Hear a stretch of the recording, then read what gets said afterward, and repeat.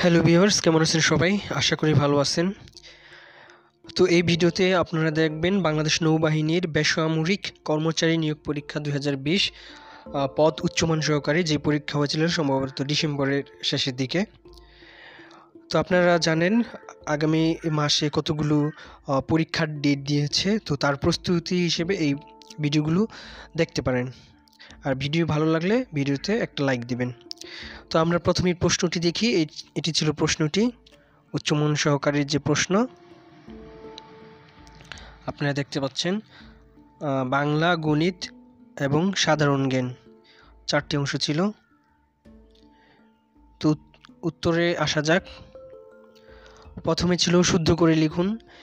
ক নম্বরে ছিল ঐক্যতান, এটা হবে ঐক্যতান সমীচীন, এটা হবে দুইটার মধ্যেই দীর্ঘিকার সমীচীন। এরপরে গ নম্বরে ছিল দারিদ্রতা, এটা হবে দরিদ্রতা। ঘ নম্বরে মুমূর্ষু বানানে মধ্যের মটার দীর্ঘকার হবে। আর ও নম্বর ছিল অস্পষ্ট। এরপরে দুই নম্বরে ছিল বিপরীত শব্দ লিখুন। ক নম্বরে ছিল অর্বাচীন, এটা হবে প্রাচীন। খ নম্বরে ছিল অলিক, এটা হবে বাস্তব। গ নম্বরে ছিল উদ্ধত, এটা হবে বিনয়। ঘ নম্বরে ছিল ঔদার্য, এটা হবে কৃপণ। ও নম্বরে ছিল কপট, এটা হবে সাধু। এরপরে তিন নঙে ছিল এক কথায় প্রকাশ করুন। ক নম্বর অক্ষীর সমক্ষে বর্তমান, এটা হবে প্রত্যক্ষ। খ নম্বর যা দমন করা যায় না, এটা হবে অদম্য।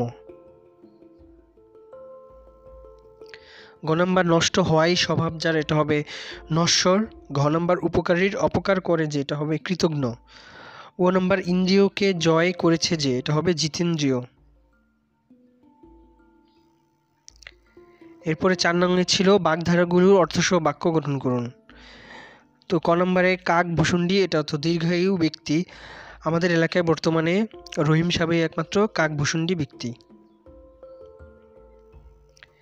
এরপরে হচ্ছে এক চোখা, এটা হচ্ছে পক্ষপাত দুষ্ট খেলার মধ্যে রেফারি এক চোখা হলে সে খেলার আনন্দ বজায় থাকে না। এরপরে গ নম্বরে হচ্ছে কূপমুন্ডুক, এটা হচ্ছে সীমিত জ্ঞান। কূপমুন্ডুক ব্যক্তিরা সহজে কারও ভালো চায় না। এরপর হচ্ছে কেউকেটা সামান্য, এটার অর্থ কেউকেটা দান করে অনেকে নিজেকে জাহির করতে পছন্দ করে। ও নম্বর অ্যালোপাথারি অর্থ বিশৃঙ্খল অবস্থা বা বিশৃঙ্খলা আহ, অ্যালোপ্যাথারিভাবে কাজ করলে তা সহজে শেষ হয় না। এরপরে ইংলিশ অংশ। পাঁচ নম্বরে fill in the gaps with appropriate preposition তো A number I was on time for class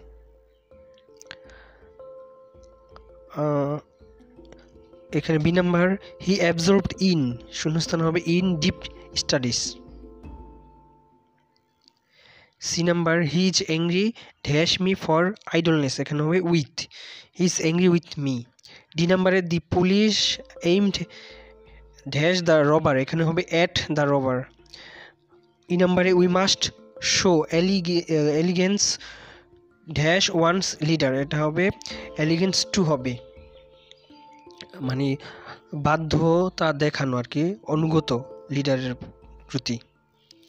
ছয় নম্বরে write down the opposite words A number ছিল ডিক্রিজ মানে কমানো, এটার অপোজিট হবে ইনক্রিজ নেটিভ মানে দেশ দেশি, এটার অপোজিট হবে ফরেন মানে বিদেশি। অ্যারোগেন্ট মানে উদ্ধত, এটার ই হবে হাম্বেল মানে বিনয় বা বিনীত। ডি নাম্বারে ব্রিটল মানে ভঙ্গুর, এটার অপোজিট হবে হার্ড ই নাম্বারে অপসিন মানে অশ্লীল, এটার অপোজিট হবে ডিসেন্ট মানে ভালো বা শ্লীল বা ভালো যেটা আর কি, অশ্লীলের বিপরীত। এরপরে সাত নম্বরে ছিল write down the write down the following idioms and phrases and make sentence with them তো ইডিয়মস অ্যান্ড ফ্রেসগুলোর অর্থ লিখতে হবে। এটা আপনারা বাংলায়ও লিখতে পারেন, ইংলিশেও লিখতে পারেন। কিন্তু সে ম্যাক সেন্টেন্সগুলো বাংলা ইংলিশে দিতে হবে। স্লো কোচ অথবা অপদার্থ I have never seen such a slow coach like you B নাম্বারে হচ্ছে ব্লু ব্লাড অথবা আভিজাত্য। He is boast of his blue blood এরপরে হচ্ছে সি নাম্বার ইয়েলো ডগ মানে হীনচেতা লোক। Yellow dog people can not mix with good people D নাম্বারে ফিশ আউট অফ ওয়াটার মানে অস্বস্তিকর আনিজি এরকম। The new comer is feeling like fish out of water coming to new place E number ins and out অর্থ সম্পূর্ণ। রিম really know the ins and out of this engine of how this engine work Rahim really know এখানে একটা S হবে Rahim really knows হবে। অথবা Rahim really knew হবে। Past form দিতে হবে আর প্রেজেন্ট ফর্মে দিলে অ্যাশ দিতে হবে।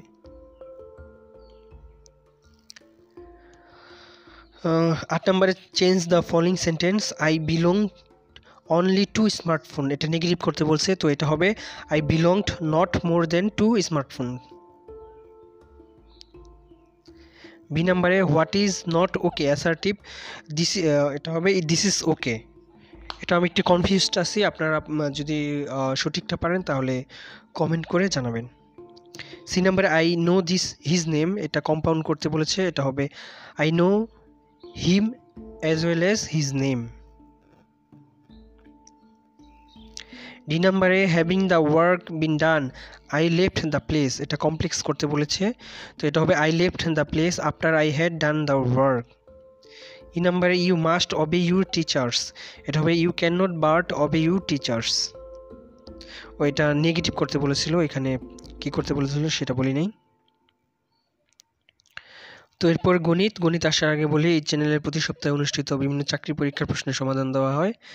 এরকম ভিডিওগুলো নিয়মিত পেতে চ্যানেলটি সাবস্ক্রাইব করুন এবং ভিডিওটি ভালো লাগলে লাইক দিয়ে উৎসাহ যোগাবেন। তো নয় নম্বরে ছিল যে প্রশ্নটি পিতা ও পুত্রের বর্তমান বয়সের সমষ্টি সত্তর বছর। সাত বছর পূর্বে তাদের বয়সের অনুপাত ছিল পাঁচ অনুপাত দুই। পাঁচ বছর পরে তাদের বয়সের অনুপাত কত হবে? তো এখানে আমরা ধরে নিচ্ছি যে সাত বছর পূর্বে পিতার বয়স ছিল মনে করি পাঁচ এক্স বছর অনুপাত থেকে এবং সাত বছর পূর্বে পিতার পুত্রের বয়স ছিল টু এক্স বছর। তাহলে বর্তমানে হবে পিতার বয়স পাঁচ এক্স প্লাস সাত আর বর্তমানে পুত্রের বয়স হবে টু এক্স প্লাস সাত। তো এই দুইটা পিতা পুত্রের বয়স যোগ করলে দেওয়া আছে বর্তমানে সত্তর বছর। তো এটা ক্যালকুলেশন করলে এক্সের মান আট আসবে। অর্থাৎ বর্তমানে পিতার বয়স সাতচল্লিশ হয়, বর্তমানে পুত্রের বয়স হয় তেরো। এক্সের মান বসিয়ে। অর্থাৎ পাঁচ বছর পর পিতার বয়স হবে বাহান্ন, পুত্রের বয়স হবে আটাশ। অর্থাৎ পাঁচ বছর পর তাদের বয়স অনুপাত হবে বাহান্ন, অনুপাত আটাশ সমান তেরো, অনুপাত সাত। এটা এই প্রশ্নের উত্তর। এরপরে দশ নম্বরে একটি সমবাহু ত্রিভুজের প্রত্যেক বাহুর দৈর্ঘ্য দুই মিটার বাড়ালে এর ক্ষেত্রফল ছয় রুট তিন বর্গমিটার বেড়ে যায়। ত্রিভুজটির বাহুর দৈর্ঘ্য নির্ণয় করো। তো মনে করি সমবাহু ত্রিভুজের এক বাহুর দৈর্ঘ্য এ মিটার অর্থাৎ সমবাহু ত্রিভুজের ক্ষেত্রফল root three by four a square বর্গমিটার। আবার বাহুর দৈর্ঘ্য দুই মিটার বাড়ালে নতুন দৈর্ঘ্য হবে এ প্লাস টু মিটার, অর্থাৎ নতুন ক্ষেত্রফল হবে root three by four a plus two whole square বর্গমিটার। এখন প্রশ্ন মতে যে নতুনটা থেকে পুরাতনটা বিয়োগ করলে এটা হবে ছয় রুট থ্রি তো এটা আপনারা ভিডিওটি থামিয়ে নিয়ে দেখবেন কীভাবে ক্যালকুলেশন করেছি। এটা ক্যালকুলেশন করলে ভিডিওটি থামিয়ে ক্যালকুলেশনটি দেখে নেবেন। এটা ক্যালকুলেশন করলে এর মান আসে পাঁচ। অর্থাৎ সমবাহু ত্রিভুজের বাহুর দৈর্ঘ্য এক বাহুর দৈর্ঘ্য পাঁচ মিটার। এরপরে একটি অঙ্ক ছিল, কোনো আসল তিন বছরের সরল মুনাফা সহ চারশো ষাট টাকা ও পাঁচ বছরের সরল মুনাফা সহ ছয়শো টাকা হলে শতকরা মুনাফার হার কত? তো প্রথমে লিখছি পাঁচ বছরে আস এই অংশটুকু কাটা সরি যে কাটাগুলো দেখছেন এটা কাটা আসলে অ্যাকচুয়ালি তো নিচের থেকে শুরু। আসল প্লাস পাঁচ বছরের মুনাফা, এটা হবে ছয়শো টাকা। আসল প্লাস তিন বছরের মুনাফা, এই যে এখান থেকে। আসল প্লাস তিন বছরের মুনাফা চারশো ষাট টাকা। অতএব বিয়োগ করে দুই বছরের মুনাফা একশো চল্লিশ টাকা। অতএব এক বছরের মুনাফা, অতএব পাঁচ বছরের মুনাফা বের হয় তিনশো পঞ্চাশ টাকা। আপনারা দেখতে পাচ্ছেন। এখন পাঁচ বছরে মুনাফা আসল ছিল ছয়শো টাকা, অর্থাৎ পাঁচ বছরের মুনাফা আমরা পেয়েছি তিনশো পঞ্চাশ টাকা, অর্থাৎ শুধু আসল আড়াইশো টাকা। এখন এই আড়াইশো টাকার পাঁচ বছরের মুনাফা হয়েছিল হয়েছিল তিনশো পঞ্চাশ টাকা। অতএব এক টাকার এক বছরের মুনাফা, অতএব যেহেতু শতকরা বার্ষিক সুদের হার চেয়েছে, সেহেতু একশো টাকার এক বছরের মুনাফা। আপনারা ক্যালকুলেশনটি, ভিডিওটি থামিয়ে নিয়ে দেখবেন, আঠাশ পার্সেন্ট আসে এটা এই প্রশ্নের উত্তর। এরপরে সাধারণ জ্ঞান জাতির জনক বঙ্গবন্ধু শেখ মুজিবুর রহমানের উনিশশো একাত্তর সালের সাতই মার্চের ভাষণকে ইউনেস্কো কী নামে লিপিবদ্ধ করেছে? উত্তর ডকুমেন্টারি হেরিটেজ এবার খ নম্বরে, কোন বিদেশি মিশনে বাংলাদেশের পতাকা প্রথম উত্তোলিত হয়? উত্তর, কলকাতা মিশনে। গ নম্বর, এখানে উনিশশো একাত্তর হবে। উনিশশো একাত্তর সালের মুক্তিযুদ্ধের সময় নৌ কমান্ডো দ্বারা পরিচালিত অপারেশনের নাম কি? উত্তর, অপারেশন জ্যাকপট। তো গ ঘ নম্বর স্পর্শের পুনরূপ লিখুন এটা হবে space research and remote sensing organisation. O নম্বরে বাংলাদেশের প্রথম মুদ্রা চালু হয় কোন তারিখে? উত্তর উনিশশো বাহাত্তর সালের চার মার্চ। ছ নম্বরে বঙ্গবন্ধু স্যাটেলাইট কত তারিখে উৎক্ষেপণ করা হয়? উত্তর এগারোই মে দুই হাজার আঠারো। এটা উইকিপিডিয়া থেকে নেওয়া, আপনি দেখবেন বাংলা উইকিপিডিয়া থেকে। আত্মজীবনীমূলক গ্রন্থ একাত্তরের দিনগুলো, এর লেখকের নাম কি? উত্তর জাহানারা ইমাম। জনাম্বা শালবন বিহার। কোন সভ্যতার নিদর্শন? উত্তর, প্রাচীন সভ্যতার। ছ নম্বর, আন্তর্জাতিক টেস্ট ক্রিকেটে সবচেয়ে বেশি সেঞ্চুরি করেছেন কে? উত্তর সচিন টেন্ডুলকার। আর আপনাদের জন্য কুইজ থাকবে ওয়ান ডে ম্যাচে সবচেয়ে বেশি সেঞ্চুরি কার? পারলে কমেন্ট করে জানাবেন।